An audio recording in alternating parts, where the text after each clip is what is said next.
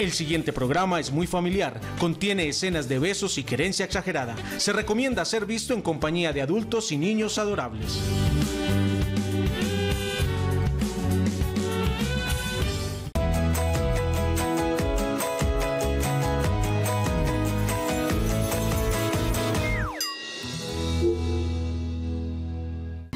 Nos unimos en un arrullo para abrir juntos un camino. Yo te ayudo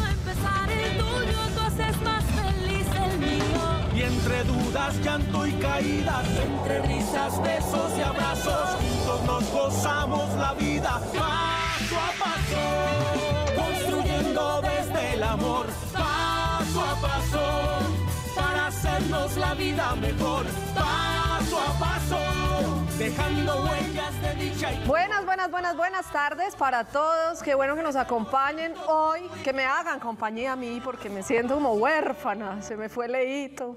Estoy sintiendo esto del nido vacío por experimentándolo en carne propia, pero me hice en su ladito como para no extrañarlo tanto. Gracias a ustedes por estar ahí.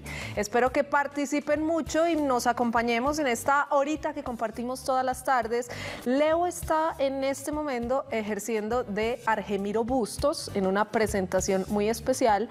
Ya saben ustedes que le dicen Miro Bustos y eso hace que abandone todo, ¿no?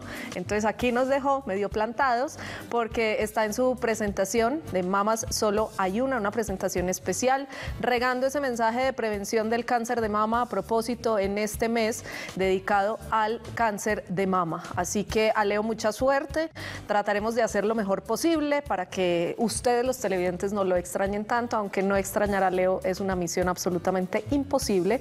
Lo han de querer tanto como yo, así que a ese papá de esta casa lo extrañaremos un montón y les damos toda la suerte del mundo. Por lo pronto nosotros aquí nos vamos a concentrar hoy como en una especie de homenaje a esas personas que siempre están detrás de esa pantalla y no solo detrás de la pantalla, están al lado de los papás, al lado de los niños, al lado de los hijos, al lado de los sobrinos, al lado de mil cosas que hace un abuelo.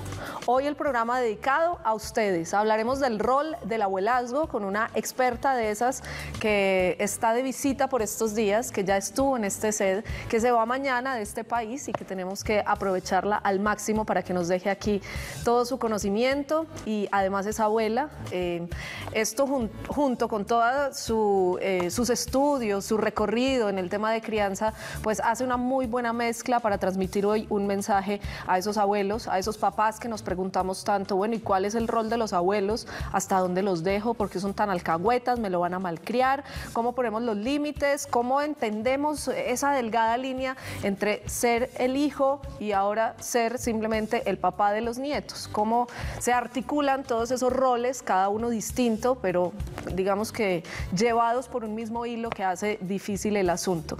Difícil, pero que para esos abuelos se convierten en un todo muchas veces, otras veces en una carga, y está en nosotros descubrir cuál es nuestra labor para que eso no suceda. Así que si ustedes se sienten identificados, pues bienvenidos. 268, muéstremelo porque esa, esa función es de Leo. 268-6033. Sí, vea. O sea que Leo está, viendo, está haciendo bien su papel porque yo me lo aprendí. Espero que ustedes también se lo aprendan. 268-6033 y marquen y se comuniquen hoy para hablar de los abuelos. Espero que hayan tenido un muy buen fin de semana, que hayan disfrutado esos nietos un montón, que se los hayan dejado disfrutar porque también existen esos papás que poco se acuerdan de los abuelos a menos que los necesiten. Así que para todos, bienvenido a este espacio. Nos vamos a conectar, como siempre, con un video que tenemos hoy para mm, entender que los abuelos importan. No solo necesitamos mantener activo el cerebro, también el corazón. Esperamos que eso nos pase a todos, de hijos, de papás, de abuelos, de nietos y se siga el ciclo manteniendo vivo y activo ese corazón y eso es lo que buscamos aquí todas las tardes en este espacio, en paso a paso. Para no seguir dando lora yo aquí sola, eh, les recuerdo la línea, el 268-6033 y de una vez demos paso a nuestra experta hoy. Aquí está el experto en paso a paso.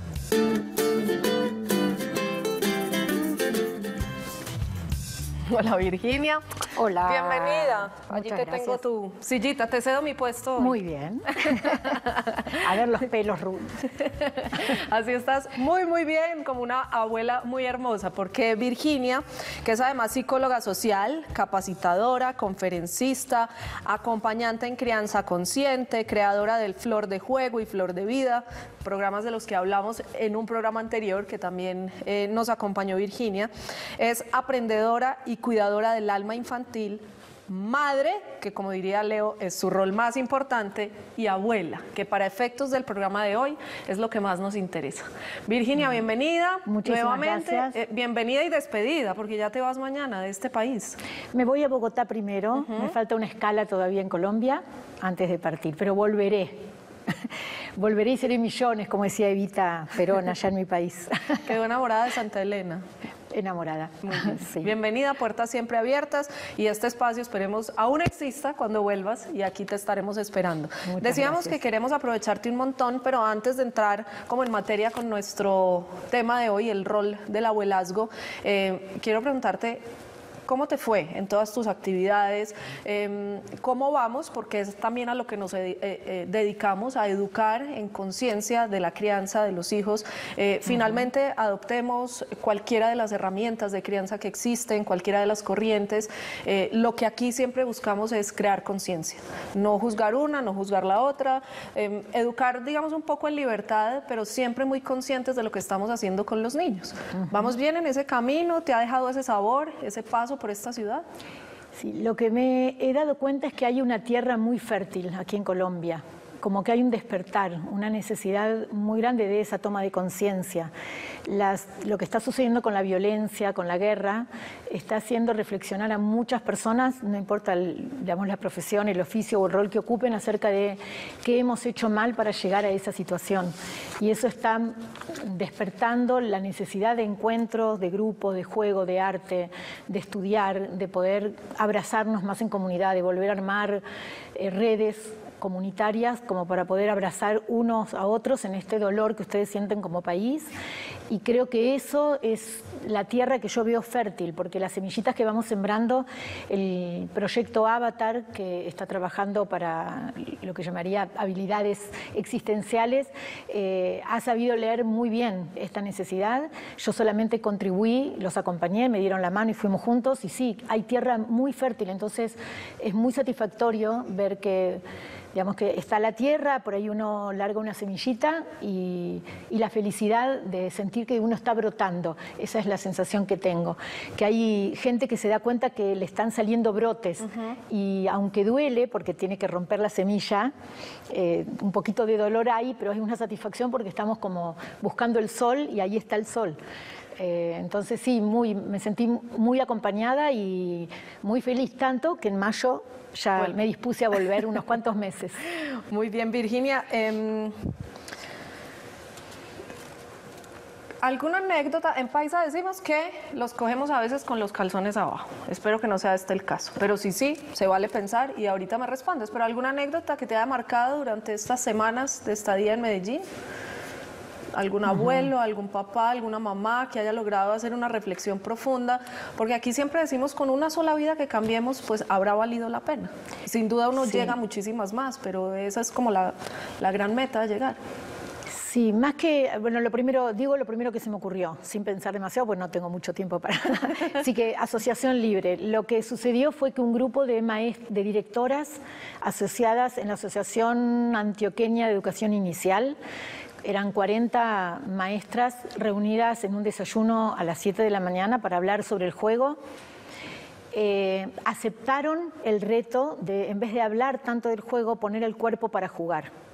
Y no es fácil que la presidenta de la asociación y que las directoras y gestoras de colegios eh, se saquen el trajecito, digamos, de, gestoras, directoras y con todo el rol difícil que es hoy estar en una escuela y se dediquen más de cuatro horas a poner el cuerpo a jugar, a divertirse, a emocionarse, a crear.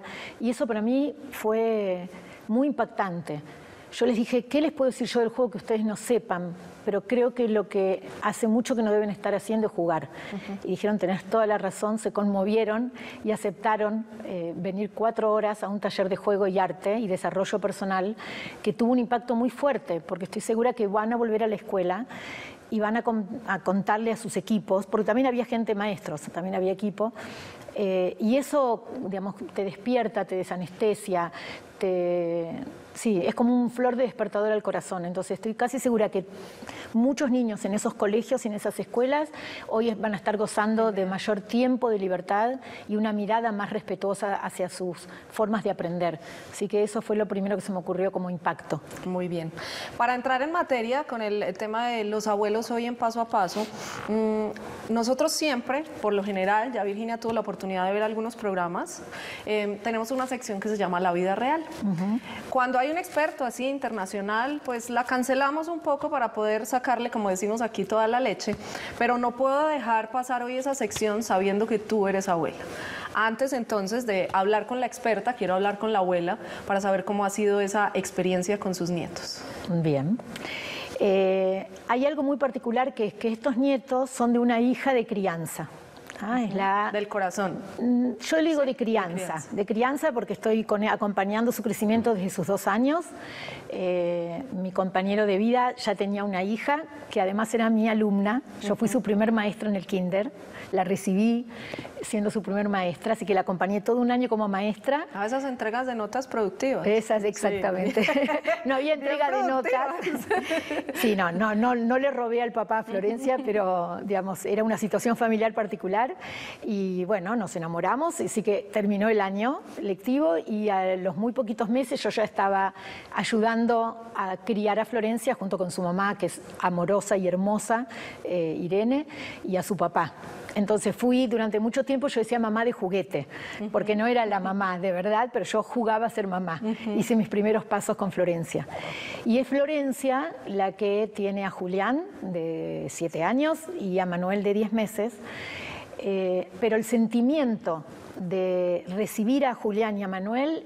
Eh, no sé, todavía Maya y Laura, mis dos hijas de, la panza, todavía no tienen hijos. Eh, Laura también está en la misma situación, tiene un hijito que es hijo de su compañero, se va repitiendo la historia, pero creo que lo que a mí me movió en, mi fibra, no creo que sea muy distinto a cuando mis hijas tengan hijos. Bueno, no sé, eso lo voy a ver, pero mi experiencia es de, wow, cuánto crecí como ser humano. Cuántas cosas las haría diferentes ahora que soy abuela, ahora que he vivido un, tramo de mi vida y esa fue lo, más impactante. Y además de saber que Florencia está poniendo en práctica cómo ella fue criada, como mamá. Entonces es un doble espejo es encontrarse en los nietos y encontrarse en los hijos. Y es muy, muy conmocionante. Es muy, algo muy fuerte que yo no sabía que me iba a suceder hasta que no me sucedió. Ahora Virginia me estaba haciendo una pregunta que pues me tomó por sorpresa. Me dijo, ¿tú fuiste consciente cuando tuviste hijos o cuando tomaste la decisión de tener hijos que eso implicaba tomar la decisión de en un 50% ser abuela? Y eso lo toma uno como, no, pues yo, yo voy paso a paso, ¿no? Sí, paso a paso. los hijos y veremos qué ocurre, pero uno nunca se proyecta para ser abuelo. No, por eso yo digo que el ser abuelo, digamos, es algo que si tus hijos deciden tener hijos, vas a ser abuelo, es un rol que te compete, pero que uno también puede elegir si quiere ser abuelo o no. Digamos, antes no se elegía, antes nada, casi nada se elegía. Y esa elección consiste en asumir o no el rol. Exactamente, ¿y cómo la voy a asumir? Porque ¿Cómo ha sido el tuyo? El mío, yo decidí, eh, en la, con Julián decidí ser abuela y le pedí a Florencia, contá conmigo y me hice un tiempo para poder, digamos, tener tres días fijos, en un horario fijo, para poder cuidarlo, llevarlo al parque, a la plaza, mimarlo y pasar la tarde con él y era una maravilla. Yo decidí y hasta me parecía poco. Yo tenía que aguantarme porque quería más, pero bueno, en este caso hay cantidad de abuelos, había por demás cantidad de abuelos y que había que repartirse. Yo elegí ser abuela en el primer caso y en el segundo caso y con Manuel me fui de Buenos Aires cuando Manuel le faltaban muy poquitos días para nacer y nació un día después que salí de Buenos Aires. Mm. Yo me vine el 31 de diciembre, bueno, dos, y él nació el día 2 de enero. Entonces, lo acaricié en la panza, le hablé, le canté, me presenté y ahora nuestro vínculo es por Wi-Fi, es por eh, WhatsApp y ahora muy prontito en noviembre por primera vez nos vamos a abrazar. Y bueno, es otro modo de ser abuela, porque como ah, soy una abuela activa, todavía me siento muy joven. eh, Estás, te de- ves. estoy Y te ves muy y joven. bueno, hay- digamos, mi emoción es que todavía tengo mucho para moverme, entonces he decidido seguir mi viaje. Este, viaje empezó justo después del- al año y pico de Julián, así que ya lleva cinco años, y sé que algo estoy perdiendo, pero esas son las elecciones, que yo tomé con libertad la elección de me quedo o me voy. En las dos situaciones iba a perder y a ganar algo. Ahora me decías algo que al yo hacerlo público, esto pudiese ser usado en mi contra si los abuelos me están viendo, pero Virginia me respondía cuando yo le preguntaba, pero te lo estás perdiendo. Y ella me decía, pues es que ahora es mi tiempo. ¿Sí? Yo ya me dediqué a mis hijas, las eduqué, eh, compartí con mi primer nieto, ahora es mi tiempo. ¿Cómo lo, ¿Cómo lo asumes? ¿Cómo lo tomaste la decisión? ¿En qué pensaste? Y si no se te genera culpa, además, Sí. haberte dedicado muy de cerca a tu primer nieto y con el segundo haber estado un poco más lejos, aunque cerca de otra manera. No, culpa de ninguna manera, porque como lo he decidido con libertad, culpa no. Eh, yo creo que cuando uno es mamá y papá, y bueno, y esto justamente tiene que ver con el rol del abuelo, cuando uno es mam- mamá y papá tiene como que dedicarse muy, con, mucha conciencia y con, mucho, con mucha dedicación, con un tiempo de calidad, con presencia. Y no, no solo se ejerce el rol de mamá y papá los primeros anitos, realmente hasta que los hijos no crecen, no se independizan, no toman sus propias alas y vuelan, uno está muy pendiente. Y yo me permití eso. Recién cuando mis hijas se fueron de casa, es que yo decidí, ahora es mi tiempo. Ya las crié, ya las acompañé, ya les di herramientas para que puedan eh, volar del nido. Ahora es mi tiempo, siempre fue mi tiempo, pero ahora es mi tiempo de tomar eh, yo, digamos, de volverme a poner las alas y en este caso partir de viaje. No todas las abuelas viajan, no todos los abuelos viajan, pero se puede viajar estando en la misma ciudad, estando en el mismo barrio. Uno puede decir, bueno, ahora quiero hacer deportes, quiero ir a caminar por la montaña, quiero dedicarme a cocinar o dedicarme a mis nietos, pero bueno, es una decisión. Ahora es mi tiempo, también es mi tiempo de ser abuela. Son decisiones. Mi tiempo es que yo decido, que ahora yo manejo y administro mi tiempo y que puedo decir, hoy no tengo ganas, hoy me siento cansado, hoy tengo ganas de jugar al dominó con mis amigos, dirá el abuelo. ¿Y eso cómo se hace? ¿Cómo decir no cuando tienes unos hijos que están contando contigo como abuela para ellos poderse liberar a veces también un poco eh, y pensar en ellos en medio de la crianza difícil? Porque también hemos eh, advertido mucho sobre el mensaje del cuidado del cuidador, ¿no? Y Sí. hace parte también de ello. ¿Cómo decir no para, eh, de manera tal que los hijos entiendan el mensaje que tú has asumido? Yo creo que eso se prevé con el vínculo que se ha armado entre esos abuelos y esos hijos antes de que esos hijos sean padres. El vínculo de confianza, de honestidad, de poder hablar, y si no es una oportunidad. Digamos, los nietos vienen a aparecer como una oportunidad de recomenzar, porque cuando los padres son, la mamá y el papá tienen hijos, empiezan a entender a su mamá y a su papá. Y a veces si el vínculo no ha sido demasiado fluido, es una muy buena oportunidad para que esa hija o ese hijo se pongan en el lugar de sus padres y haya como una reconciliación. Claro, y de ahí la frase de uno aprende a ser hijo cuando es papá. Y también se aprende a ser nieto cuando se es abuelo. ¿Te acuerdas siendo nieta Eh, sí. con tus abuelos y esa relación? Bueno. Que yo la recuerdo un poco lejana, ¿no? Tal vez porque los tiempos han cambiado y hoy los abuelos son más jóvenes, son más vitales, eh, digamos, hay un, un prospecto de vida un poco más largo en, en años, en, en vitalidad y en fortaleza, pero yo sí recuerdo una relación un poco lejana, un poco fría, cosa que no pasa ahora con mis hijos, ah, por fortuna. Eh, con los, de to- tus, suegros y padres con tus hijos. No Sí, pasa. No, no pasa. Ah, está, está. Ahora sí, Ajá. los abuelos muy Bien. vitales.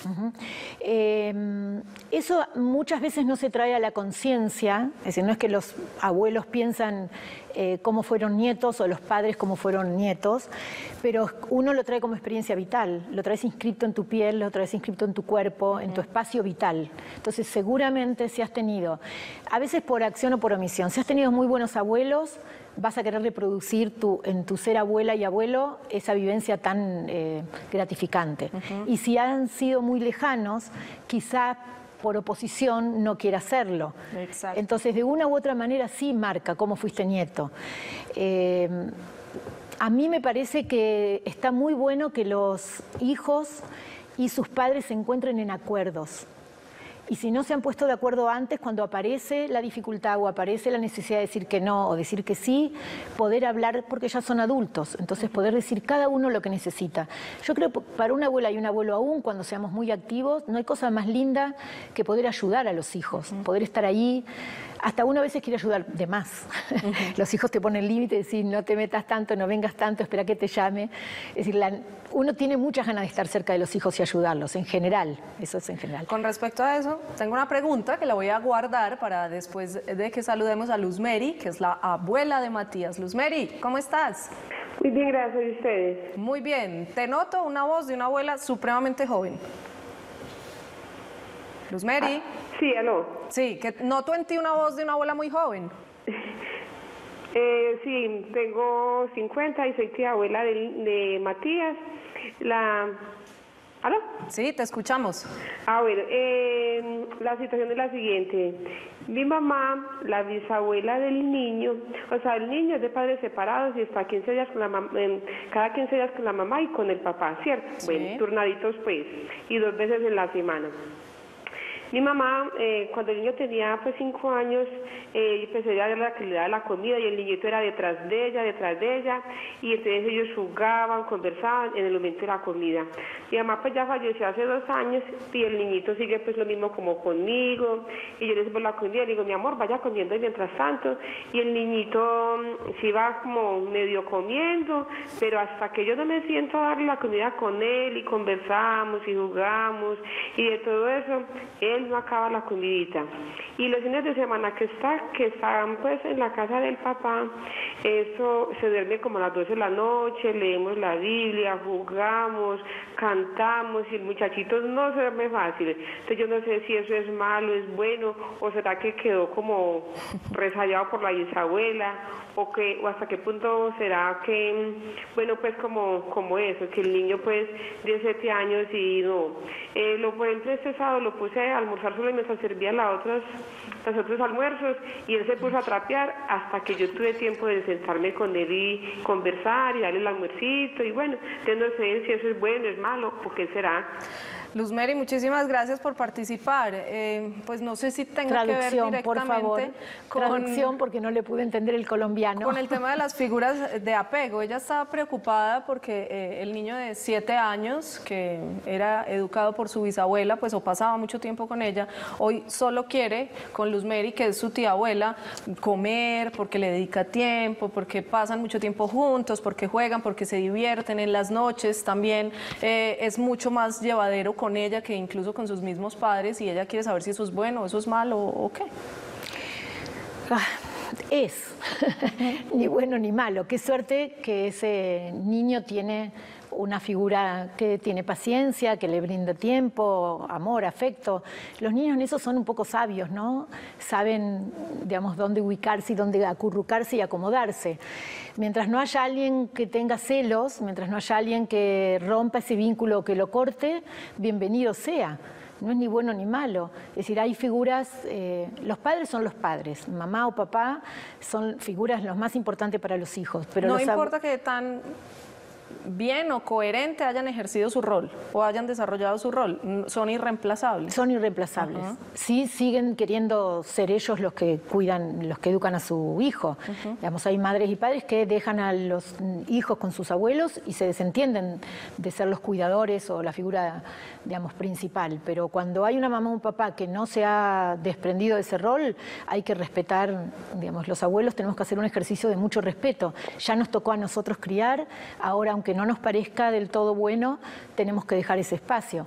Ahora, si los padres dan lugar a que esta abuela o esta tía abuela tenga tiempo de calidad y de mucho afecto y amor, eh, bienvenido sea, es una segunda oportunidad, es una otra es una experiencia que suma, nunca, nunca resta. La recomendación entonces es que lo siga haciendo mientras lo disfruten, ambos.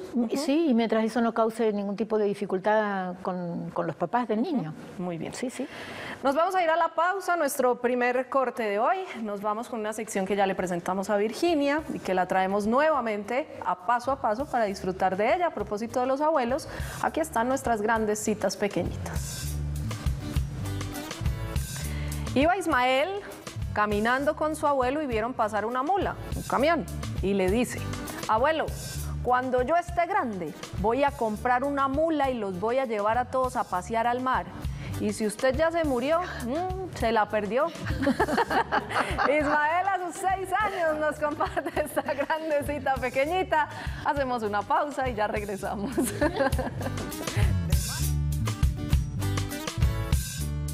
Estás viendo Paso a Paso.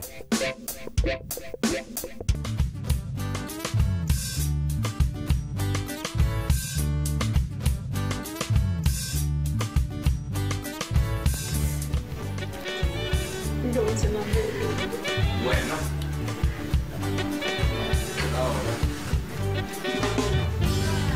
Rico.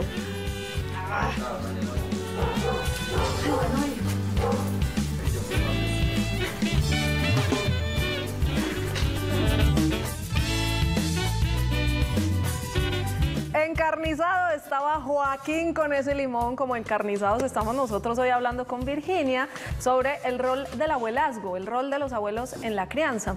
Y hablábamos ahora con Virginia sobre... Eh, la capacidad o la necesidad de entender y de poner límites de una y otra parte. Lo que pasa es que cuando los abuelos se vuelven abuelos, los papás ya dejan un poco o, no dejan su rol de hijos, pero aparece otro rol que es el de los papás de los nietos. Y entonces ahí la cosa se va complicando un poco, porque no es lo mismo que yo sea hija tuya a que ahora sea la mamá de tus nietos, ¿cierto? Y, eso dificulta un poco o favorece eh, el tema de las relaciones eh, para ejercer el abuelazgo. Bueno, no hay situación, no se puede generalizar, pero de la, experiencia que tengo sí puedo decir que la mayoría entra en crisis con el tema de los límites. Sobre todo la queja viene de parte de las madres y de los padres acerca de los abuelos. Ellos quieren educarlos de una forma y los abuelos todavía siguen pensando en la forma en que ellos educaron. Y ahí entra en conflicto las dos generaciones. Y eh, los abuelos se quejan de mi hija o mi hijo, vienen a casa, dejan a los nietos y me dan una lista de encomendaciones que tengo que hacer eh, y esa no soy yo, ese no soy yo, no lo puedo hacer, o que me los den y confíen y que yo los críe como, a llevar. como pueda, pero no, que no me obliguen a hacer, por ejemplo, que no, que no les dé leche, que no les dé Coca-Cola, que no miren televisión, que no los apapache, que no los mime demasiado, que no los alcen brazos, que no les, no les ayude a poner en los calcetines. Es decir, me dan una lista de recomendaciones y eso, dicen los abuelos, nos hace sentir muy incómodos. Porque nosotros somos abuelos, no somos niñeras ni niñeros, no somos maestras ni maestros, somos abuelos y queremos ser espontáneos.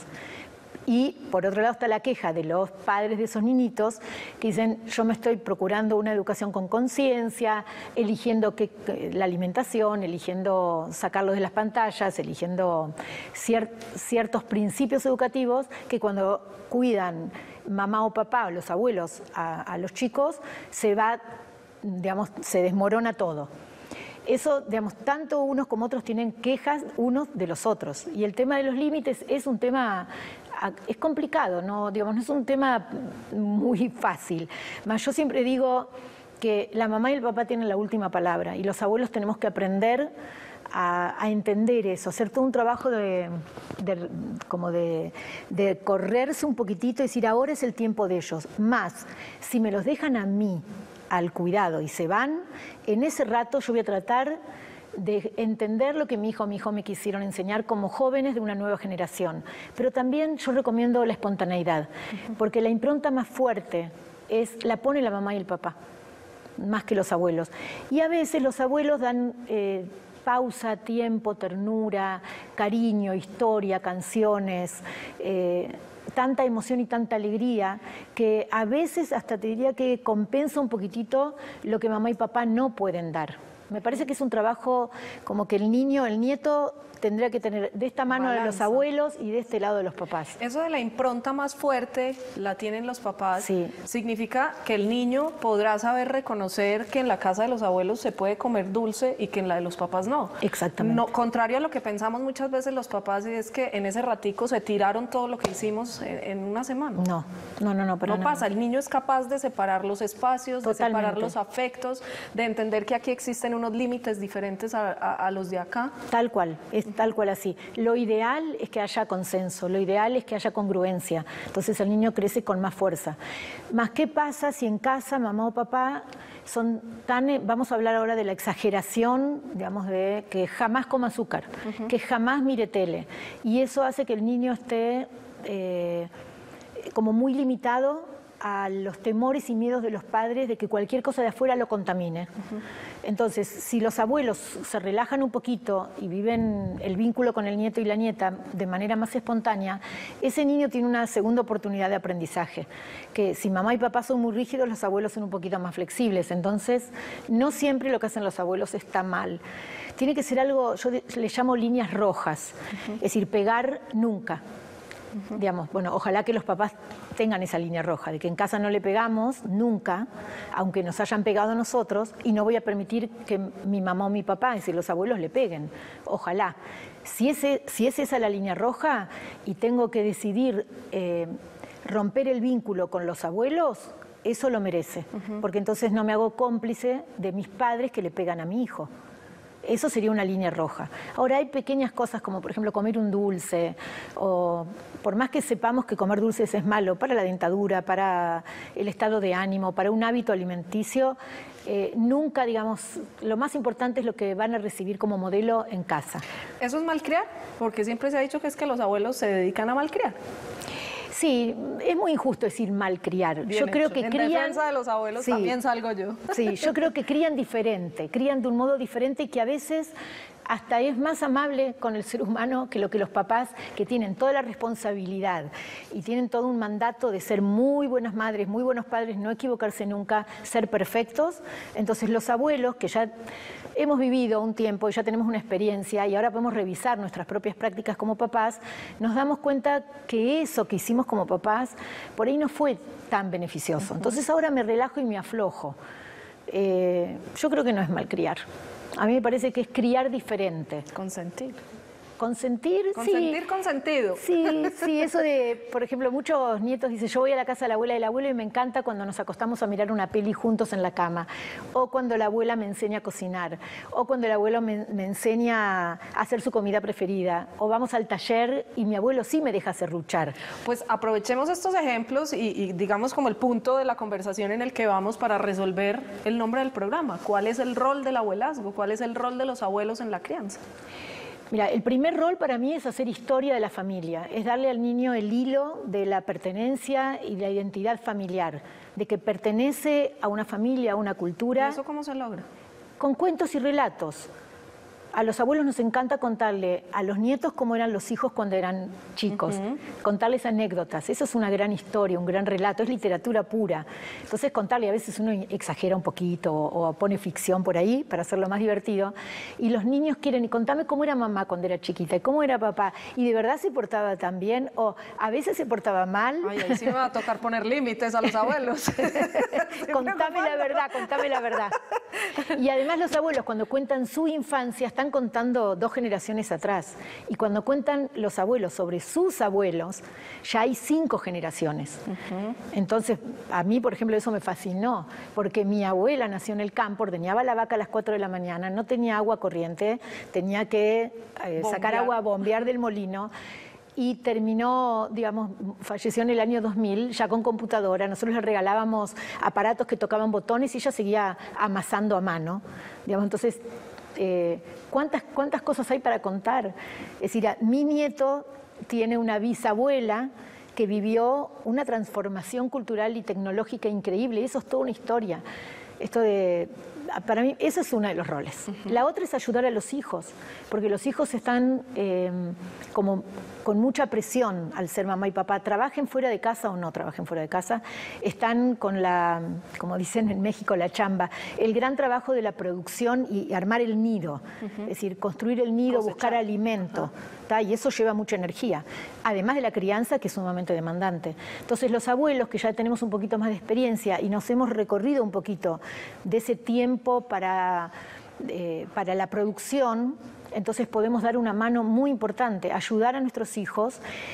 Y la otra es el, es el rol del abuelo, me parece que es darse a sí mismo el regalo de la conexión con la vitalidad en un momento donde uno ya toma conciencia de la muerte.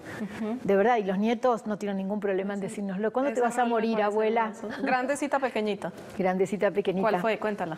¿Cuándo te vas a morir? Y yo le digo, ¿por qué? Porque tenés las manos arrugaditas, entonces quiere decir que pronto te vas a morir. Esa fue de Florencia. Sí, Florencia. Entonces, eh, a mí me parece que que ese es el rol, el contar la historia de la familia, el introducir a los niños en, una historicidad, eh, en ayudar a nuestros hijos y en regalarnos a nosotros mismos la posibilidad de volver a jugar, de volver a estar sin, digamos, sin tanta presión de la crianza, porque ahora nosotros lo que hacemos es acompañar el tiempo, me parece que somos compañeros de tiempo y de juego, más que no nos toca tanto criar.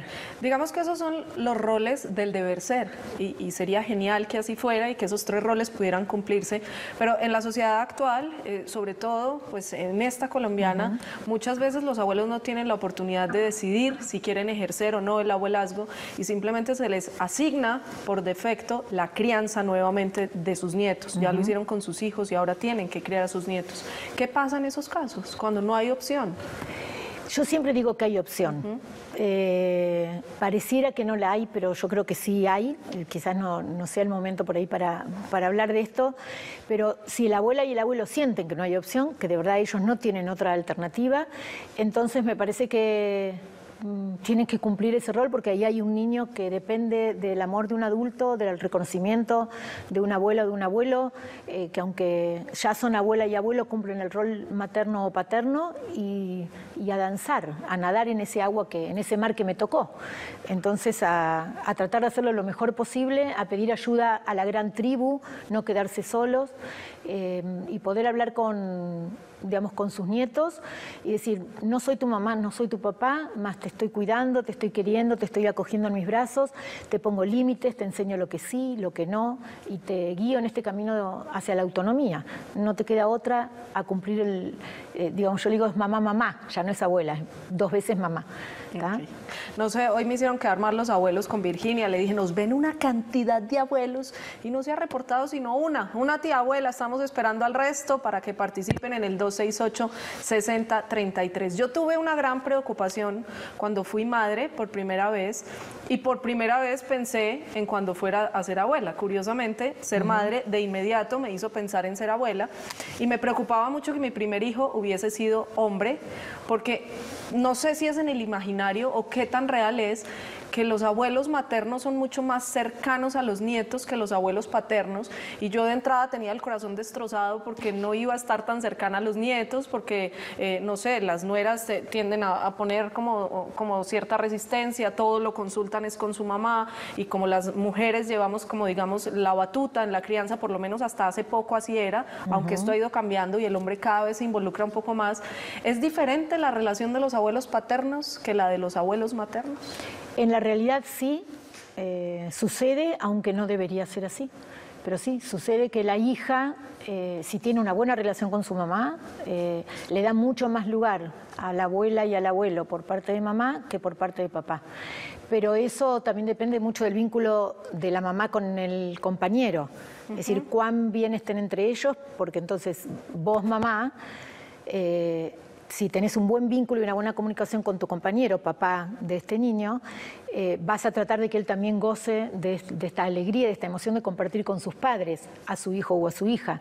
Entonces todo depende de cómo eh, se estén constituidos los vínculos, aunque en la realidad es verdad que la mamá es como, y eso es un, ayer hablábamos en, el curso Ser para Educar de lo que significa la apropiación del niño. ¿no? Uno se apropia como si fuese propiedad de uno, cuando en realidad solo nuestro rol eh, corresponde cuidarlos y acompañarlos hasta que logren autonomía y entonces si es mi hijo y es mi mamá, eso tiene que ver con, digamos, nos estamos corriendo, digamos, hacia el lugar peligroso de apropiarse. Entonces, los hijos no son de la mamá, es decir, los hijos son hijos de la vida y nosotros los acompañamos. Lo ideal sería que se comparta, pero la verdad que todavía tenemos esa digamos, como, como esa mm, impronta, ¿no? Que sí, es ¿Y así hay tal diferencia eh, entre el rol de los paternos y de los maternos? Ninguna. Ninguna. Los mismos. Los mismos. Hemos hablado hoy de tres roles fundamentales que deberían cumplir los abuelos en la crianza de los hijos y que nosotros, los padres, deberíamos permitirles a los abuelos ejercer. Pero hay otros abuelos que deciden ampliar su gama de roles y deciden ser abuelitos cangur, como este, por ejemplo. Yo estoy derretida de la ternura y solo puedo decir gracias a los abuelos por existir, gracias porque los míos tienen un montón de abuelos, que mi padrastro, que mi madrastra, que el de allí, que el de allá, gracias, gracias, agradecidísima. Y antes de irnos con la llamada, esta es una manera, hoy es muy común que los hijos decidan no tener hijos, ¿no? Eh, cada vez las presiones de la sociedad, el estilo de vida, las corrientes, en fin. Una manera posible de experimentar un abuelazgo puede ser así. Totalmente.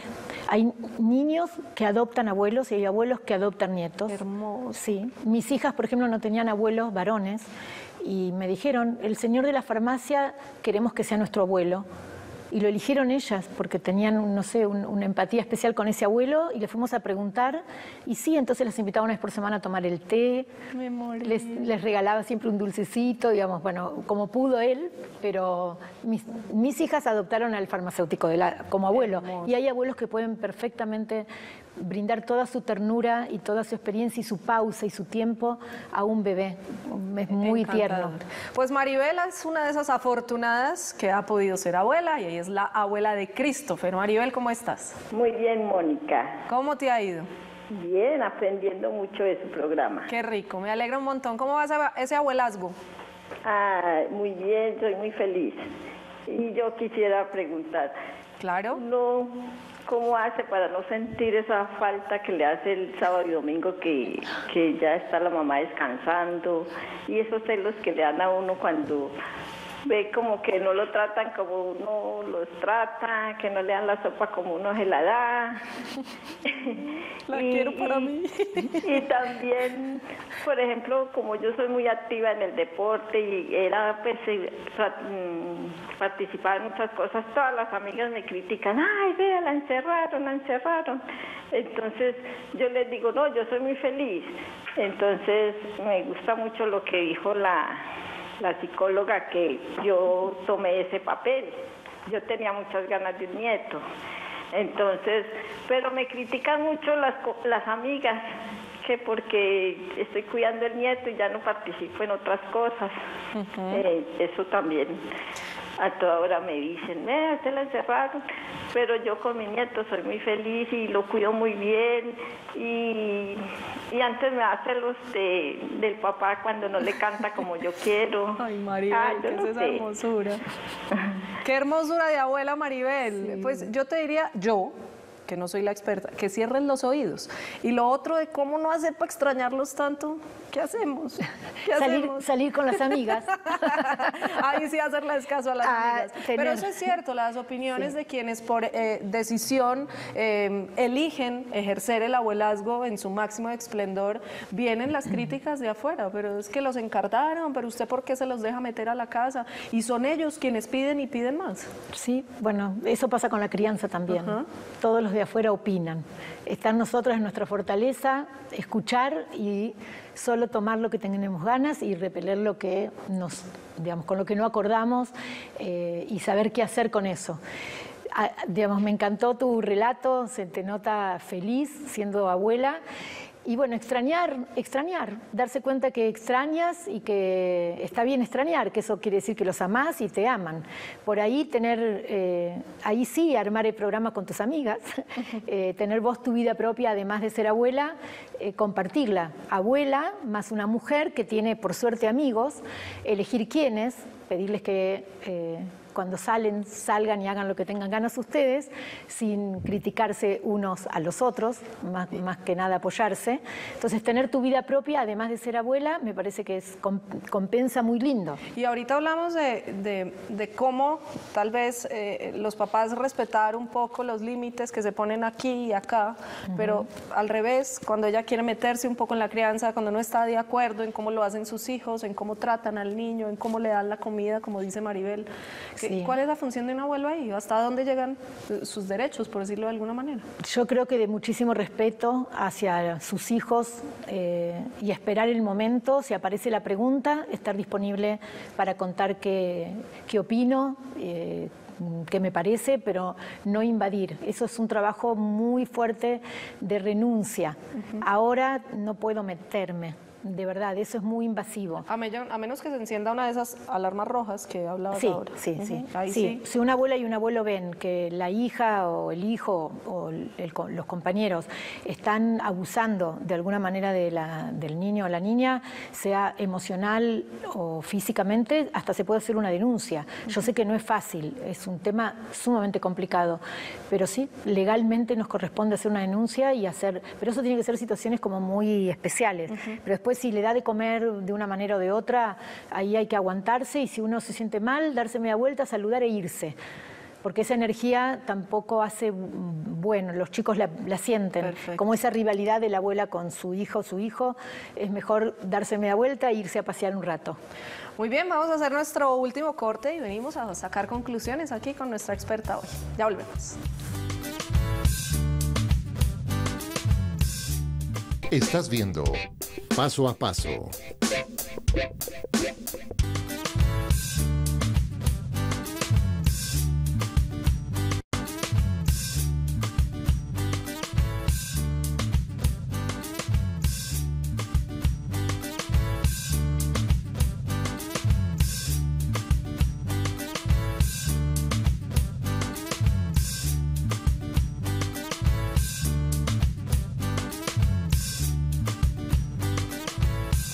Ahí estaban los modelos de hoy en paso a paso, Miguel Ángel y Mía. Eso ha de estar diciendo la, la abuela y el abuelo y el papá, Mía, Mía, no, Mía, Mía. Y todos se la han de estar peleando esa hermosura.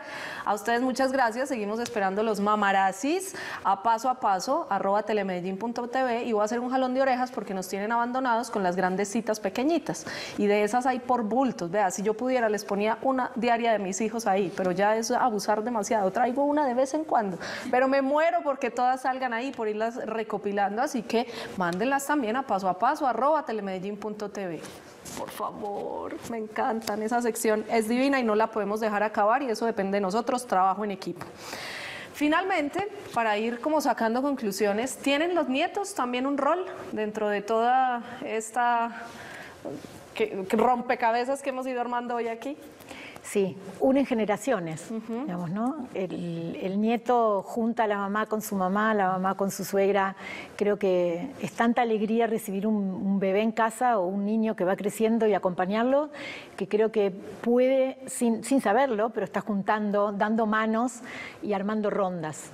Y la otra es devolverle a las abuelas y a los abuelos la vitalidad, porque esto de tener, como veíamos en el abuelo canguro, un motivo para levantarse, una, un sentido de vida para dar todo el amor que a veces nosotros tenemos y que como nuestros hijos ya están grandes no nos reclaman ese amor, ahora tenemos para dárselo a los nietos. Yo creo que sí, que ese nieto estando allí presente, que ha nacido esta vida, les da la oportunidad al, al ser un niño de, de recuperar lo humano. Y sí. Ahora caigo en la cuenta de que hubiese tenido hoy una vida perfecta, una vida real, perfecta para este programa, porque sé de una pareja separada que volvió a unirse porque nació su nieto. O sea, fue el motivo que los hizo reunirse, pero no solo para disfrutar del nieto, sino que de verdad... Sí, Sí, y- sí, y hoy conozco- son una pareja conozco bonita, historias así. De cuenta del nieto. Sí, sí, bueno, no, no hay que cargar en el nieto, por eso Ajá. cuando dijiste rol, en realidad no es el rol, no es el rol. Es lo que por defecto es lo que hacen los niños. Exactamente, no, no hay que ponerle ese rol. Si la abuela y el abuelo se volvieron a enamorar y volvieron a, re- a reconsiderar eh, las ganas de estar juntos a partir del nacimiento, buenísimo, no era el rol del nieto ese, pero la verdad que me parece que el rol del nieto es ser un ser humano que pueda recibir lo que necesita, que es mucho amor, mucha ternura, límites, afecto, mirada, historia, cuentos, arte, paseo, eh, apapachos, tirarse al piso, cocinar, aprender de los abuelos los oficios, aprender la cultura y nada más, seas Pues hijo yo o nieto. digo, benditos sean los abuelos, a ellos les debo un montón. Y finalmente tengo una última pregunta y es esa delgada línea entre respetar la crianza de los padres y nuestro rol de abuelos, a mí el día que me toque. eh, y buscarlos, es decir, no esperar a que siempre nos traigan a los nietos, a que sean ellos los que tengan que... Hay casos en donde eh, pasa lo contrario y todos los días tienen que estar dispuestos, como decíamos ahora, a recibir a los nietos, quieran o no, pero cu- cuando se quedan esperando a que les traigan a sus nietos para poderlos ver y no cruzan esa línea por miedo a intrometerse o a, o a opinar demasiado o, o lo que hemos hablado, ¿cuál, cuál es el punto? ¿Hasta qué punto también pueden los abuelos exigir sus derechos de, de ejercer su abuelazgo? Sí, más que exigir es eh, poder hablar de lo que se necesita. Yo necesito, me gustaría, y hay, eh, en México se usa mucho y me gusta mucho, hay como el día para el encuentro. Entonces hay un día fijo donde los nietos van a la casa de los abuelos, a comer, a jugar o a dormir. Entonces eso te asegura una dosis semanal de nietos. Pero yo lo tengo, en mi caso los martes es tarde de abuelos, por ejemplo. Y ellos por saben que llegan allá donde los abuelos y funciona perfecto. Entonces una abuela y un abuelo pueden ofrecerle a los hijos una- un lindo programa, un programa que le entusiasme a los hijos más que a los nietos, que el hijo y la hija no se sientan amenazados, que no sientan inseguridad, es decir, algo que, sea tranquilizador para los padres para que te den permiso. Es muy triste cuando hay abuelos que están esperando que esa porcioncita de nietos. Entonces hay que ser respetuosos, creativos y buscar la manera, pero tenemos todo el derecho de poder cuidar y estar. Más no podemos exigirlo, podemos pedirlo con respeto y el límite lo ponen los padres y ahí hay que hacer todo un trabajo con uno mismo. Finalmente, antes de despedir a Virginia hoy de paso a paso y de esta ciudad, quiero pedirle un mensaje de una abuela para unos abuelos que seguramente están detrás de esa pantalla. Bien. Que, que no se pierdan la oportunidad de volver a vivir eh, la ternura, el amor, el cariño, el juego. Eh, es decir, que la- eso, que no se pierdan la oportunidad de compartir con sus nietos la vida. Eh, más que eso no tengo para, por- para decir, que no que se la contundente. Virginia, ha sido un placer conocerte, tenerte dos veces en paso a paso. Ojalá Encantada. sean muchísimas más. Yo quiero, quiero decir que volví realmente porque valoro muchísimo el programa, valoro el respeto y el amor con que hacen este programa. Eh, elegí volver, me invitaron, pero yo también pude elegir, que es, es esto lo que yo ando diciendo, ¿no? De elegirnos. Ustedes me invitaron y yo elegí volver felicitarlos porque no es fácil en Latinoamérica encontrar un programa dedicado a la niñez, a la crianza y a los vínculos con este respeto. Miré muchísimos programas y la verdad que me maravilla y quería felicitarte y felicitarlos a todos por el respeto. Muchas gracias y pues creo que las felicitaciones también son para ustedes que han respondido también a esta iniciativa, a este proyecto que hemos construido con tanto amor, con tanto cariño, con tanta dedicación y como dice Virginia, con tanto respeto. Le haré llegar el mensaje a Leo, que ha Sí, sido una sí. Pieza fundamental de este gran proyecto y por supuesto a muchos más que nos han acompañado a lo largo de la historia de paso a paso. A ustedes que tengan un feliz resto de tarde. Mañana nos volvemos a encontrar y aquí estará Leito. Chao, chao. Gracias.